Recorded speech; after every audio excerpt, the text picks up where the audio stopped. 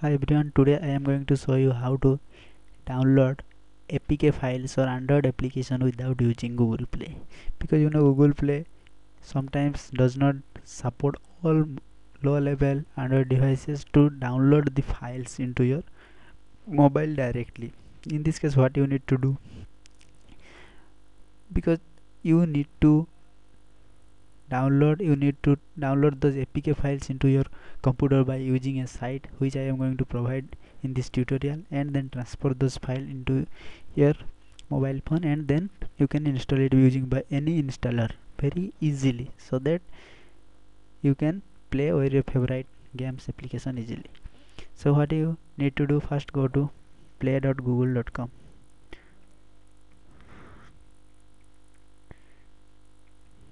okay suppose you are going to download any any application or games. You are going to apps. Then suppose you are going to install this skype application. This install button but since i don't have any account sign in with my laptop eh, co connected with my mobile so i need to install these apk files of this skype installer. Okay the site name is called apps.evozi.com okay then apk downloader click ok. This is the site. You need to remind remember it okay now you need to enter the url of the program.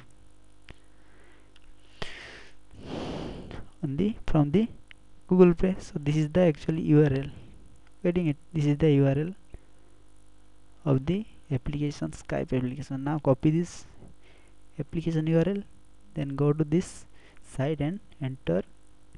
Put this url in the package space or google play url first okay. Then generate download link. Finding and downloading it may take up to 5 minutes. Okay. Now the code is generated getting. Here your option is click here to download com.skype.addon now now you can click on this link.